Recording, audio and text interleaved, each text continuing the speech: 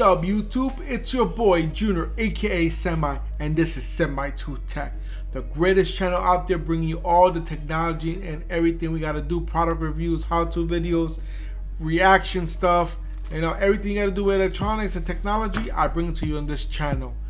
Alright, so before we get started with this video, if you haven't done so already, right here the subscribe button right here click on that and once you click on that you make sure you click right next to it the little bell right here enable bell notifications so you get notified for every single video I come out with and or anything I come out else I come out with. As well as don't forget to like the video there and share it to your all your social media platforms. Want to stay protected while streaming or downloading anything online or just protecting all your information? My suggestion go and get a VPN and the best one out there right now is IPVanish I will leave a link in my description box so you can go ahead and sign up for this great IP service available now. Alright guys, thanks for coming back. I do appreciate all the support you guys show me. And remember, just like I explained in the video, go ahead and like my video, share my video, and comment on all my videos. That helps me bring my channel up there and helps to support the channel and if you haven't done so already, go ahead and hit the subscribe button and enable bell notifications so you don't miss out on any videos I bring to you from time to time. Alright, so like I said, this is another great video I'm bringing. This video is showing you how, I mean how, step by step, how to create your own VR breakaway cable. What's a breakaway cable? Basically is an is a, making your own extension for your Oculus Rift regular one, not the Rift S. The Rift S is another way to doing it. I'll create that video next in a couple weeks or next week on how to do that one because I already created one for myself. It's very simple, not much to it, but this is strictly for the regular Oculus Rift not the S, just a regular. This will extend your cable up. You go up to 15 feet depending on your PC. I went 15 feet, but the only problem I was having is the sound kept going out. So my recommended is go to go to 10 foot. That's the best way to go. Honestly, guys, that's the best way to go. And with the Rift S, so since I mentioned it, the Rift S on you can only extend it to six feet max before you get start getting issues. But guys, that is a great way it's a great way to go ahead and extend your cables. So it's basically they call it a VR break, breakout cable, just extending your length of the cable so you could stand further away from your PC if you don't want to stand too close. Just have more room space to do. It works great if you have a big room just for VR. It, that's really great for that.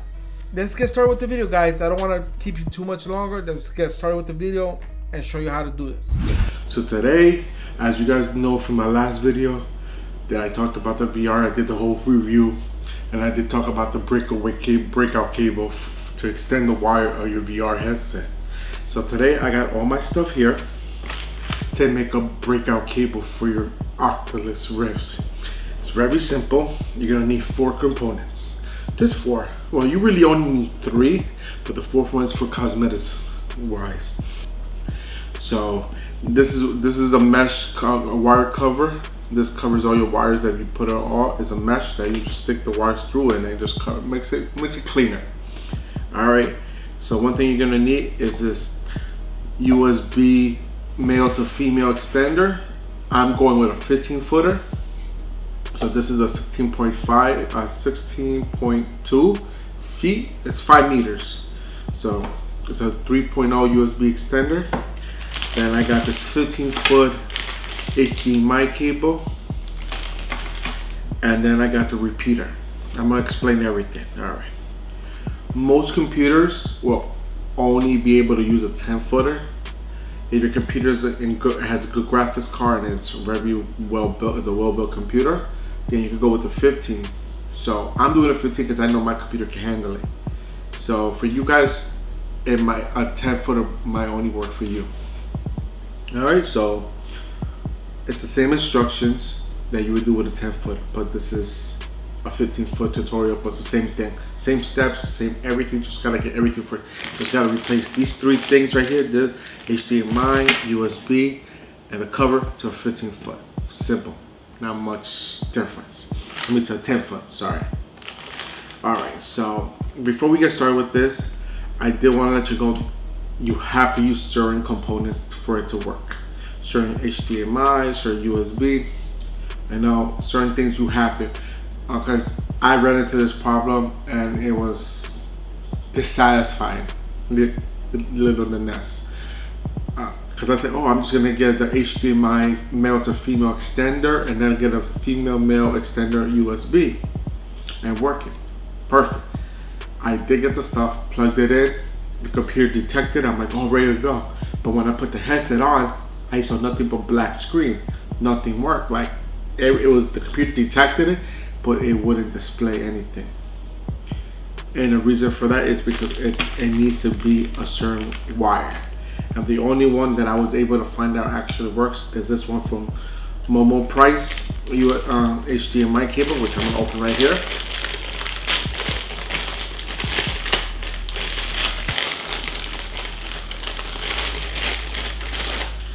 Which is right here. This is the only one that I've seen that work. I mean, there might be other ones out there, but I tried all those eBay ones, uh, Amazon uh, ones to work. But then when I did some research, they said the best cable to use is this Monoprice one. The and it tells you which one is the source and which one's the display. So let me open this up here. So guys, I will leave a link to all the stuff below the Amazon account where you can get it. It's the right ones. If you want to do more research and get other cables, it's up to you. But as you can see, this one shows display. You won't be able to see on the screen. This shows display here, and this one shows source. So, obvious, you want the source going to this end will go to your computer. This is the display. Of course, you need to go to the display into your headset. So this goes to display. All right. USB, I don't think it makes a big difference. I just me personally doesn't. I don't think it does. So I went ahead and just got this Cable Matter one, a 3.0 USB connector, because it does give you specs on here that it's a little bit better and it's faster, and it's well built. And before you guys going with the question saying, oh, but why are you going with a USB 3.0 when Oculus One re requires a 2.0? Listen, it's always better to go above and beyond than not something that only requires. On my computer right now, sometimes the cable tells me it needs to be plugged into a 3.0. So I just went with a 3.0 just to make, it's just, when new technology comes out, they update, they might make it to a 3.0. So just go with a 3.0. Just my personal opinion. All right. And of course, I got this cable cover.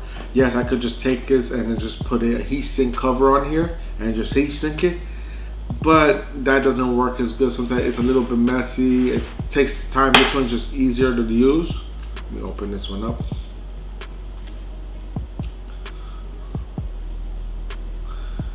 If I can get this apart. there we go.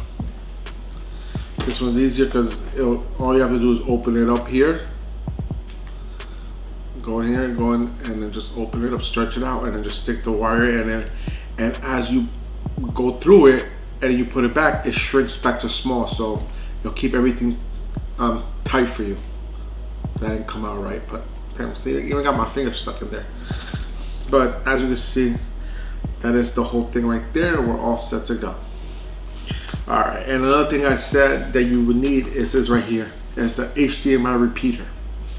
Because the signal is sometimes not strong enough. Sometimes you'll run into an issue that you're not getting a signal, and sometimes you do.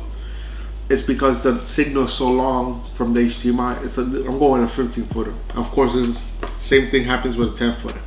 The signal is so long that sometimes it loses strength. So what a repeater does what basically boosts the signal so you get you get the signal into your into your device. So how you want to do this, we're gonna open it up.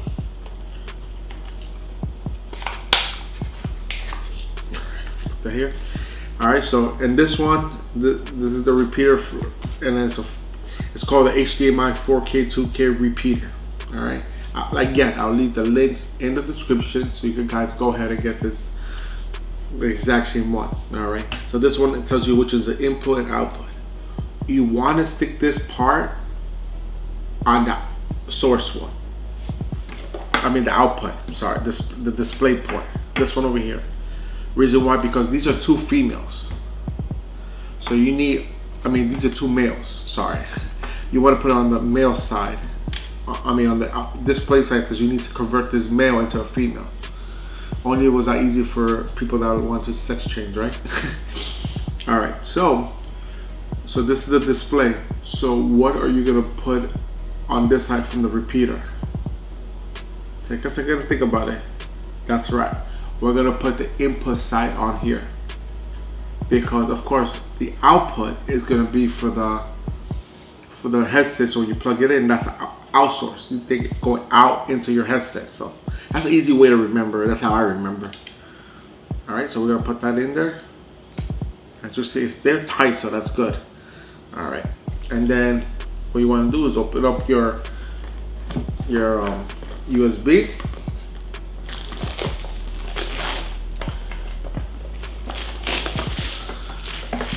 USB here. Side. It's a little messy, and this is another, like I said, another set here. All right.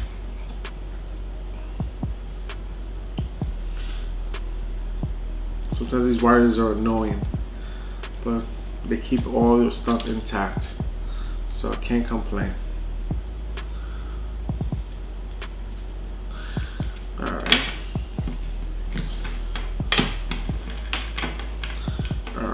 So here you go. So we gotta get this all taken out. So basically what you want to do is is put these here and then you want to tie this down together. I would recommend um, zip ties just because I think it'd be better. That's just my personal opinion because it'll be tighter. And make sure the connections are going to both same way. You want to test your Oculus Rift plugs and see if it matches up perfectly and then put it all through. So let me go ahead and get this all put together. Also, another quick tip, when you're putting this together, put it together. You're gonna be running these wires inside this cable management. A good, only if you want, a good thing to do is every, let's say I wanna do every foot and a half, two feet, you wanna put a piece of electrical tape just so the wires don't keep turning, twisting like this. You see how it's twisting, and it's gonna it's gonna take the cable and shorten it down for you. It's gonna create issues. So so you, so you can keep the wires in place. My suggestion up to you if you want to do it is put a piece of tape every foot i would say every foot so since there's a 15 i'm gonna put 15 pieces or you can do it every two feet it's whatever you prefer to do just to keep the wires all together all right so now we're gonna go ahead i'm gonna speed it up i'm not gonna make you guys wait the whole time as i'm putting it all together i'm gonna speed it up for you guys here and then i'm putting it all together like this okay so this put this wire together. All right, so we're gonna go and grab the, I have a pair of scissors here and the electrical tape. I'm gonna put this together here. I'm gonna just making make sure it's even here. I'm gonna put, put a piece of tape around that just to make it secure so I can mess with it around. All right.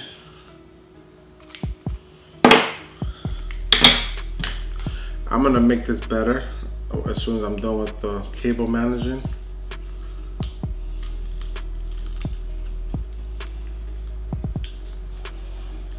All right, so now let's go ahead and secure the wires thoroughly.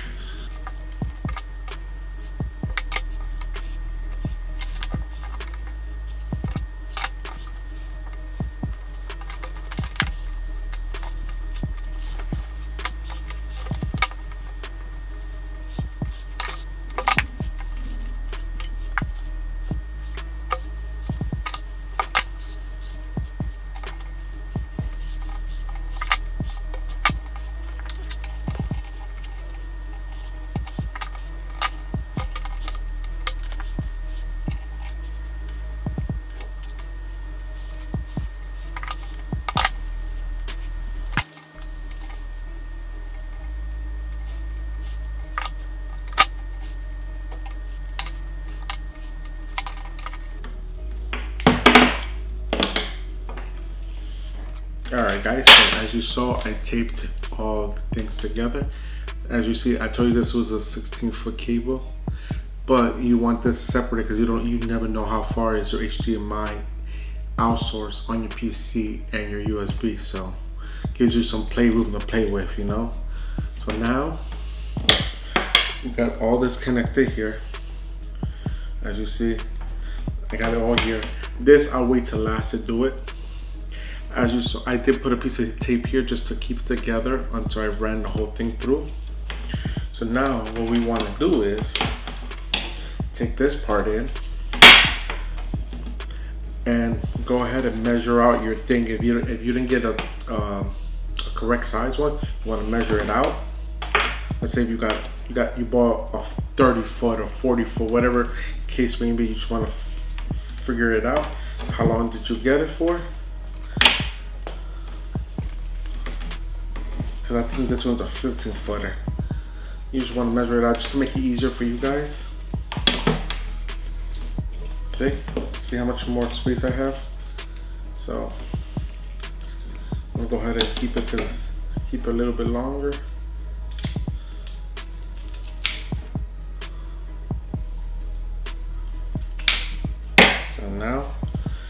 Have the correct size. I have this extra stuff here. I can use it for any other cable for later, for anything else.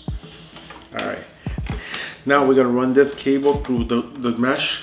I'm not gonna do it from this side because of course you see this one's so much bigger. So we wanna use the other side which is a lot smaller.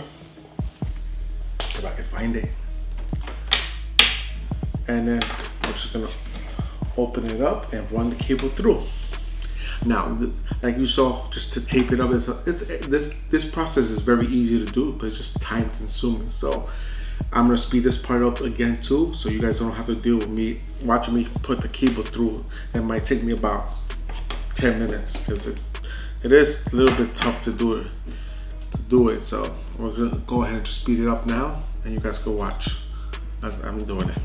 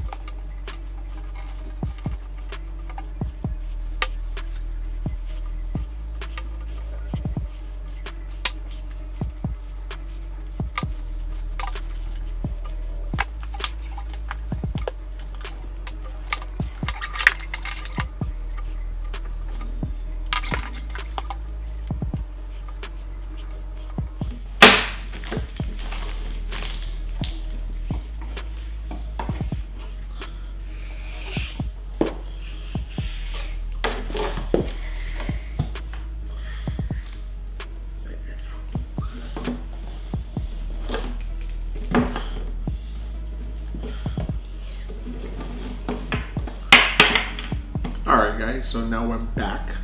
And as you can see, I ran the cable through the, the mesh. You saw me do it. So now what I want to do is I'm going to tape it on the end here so this part right here doesn't stretch out. So I'm just going to take the ends on each side just to make a cleaner look, you know, just to make a real nice look here. So just to secure a little bit more, just so if you ever need to, if it ever tries to come apart, at least you have it secure in your end. So just secure it there. And then go ahead and don't cut the cable, just the tape. Boom. So you're all good here. This is all the way at the end. And here, like I said, you can zip tie this part I recommend it just so to keep it all intact in one place or just what, what I'm gonna do is I'm gonna tape it all around. The reason why, because remember, these are made out of plastic. So if they fall or anything and they hit a metal object, it might break and then you have to, you're stuck on replacing the whole thing. So I'm just gonna take the whole thing around all the way to here, to the end, just to give you a clean look and also give that extra cushion of protection, you know? All right. Over here at the end, as you see, it's all spread apart here. What you wanna do is you wanna tape it as far as you can, just like I did the, on the other end.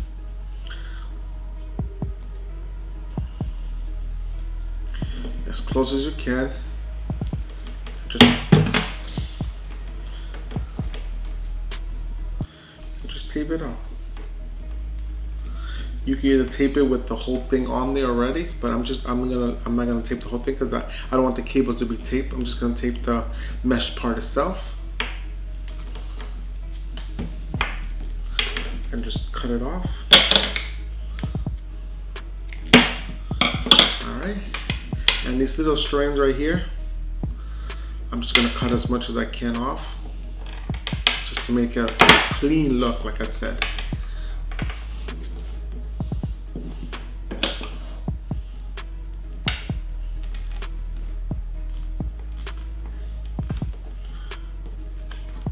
As you see, I have some pulling out. It's like getting a haircut. you want to take as much as you can out.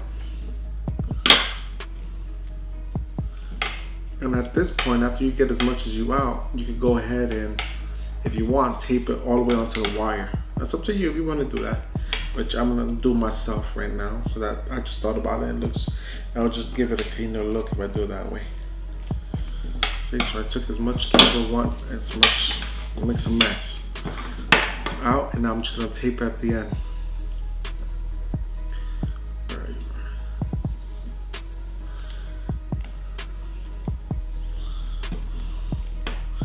I'm gonna tape the end just so it can look really clean, get that extra clean look.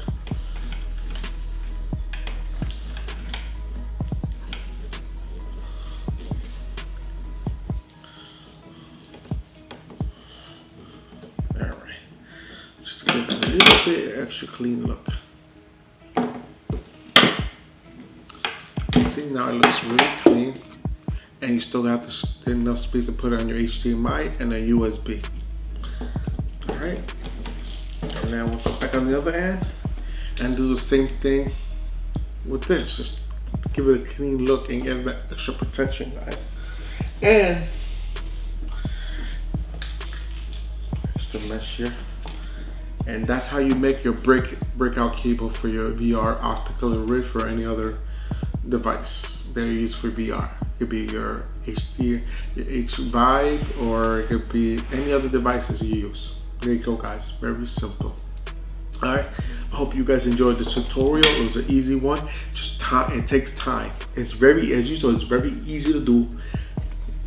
Can't complain about it. Works awesome and easy to do. The only thing is you have to make time for yourself to, to make the cable. And I'll leave a link below if you don't want to go through the whole process and buy the cable yourself, already pre-made.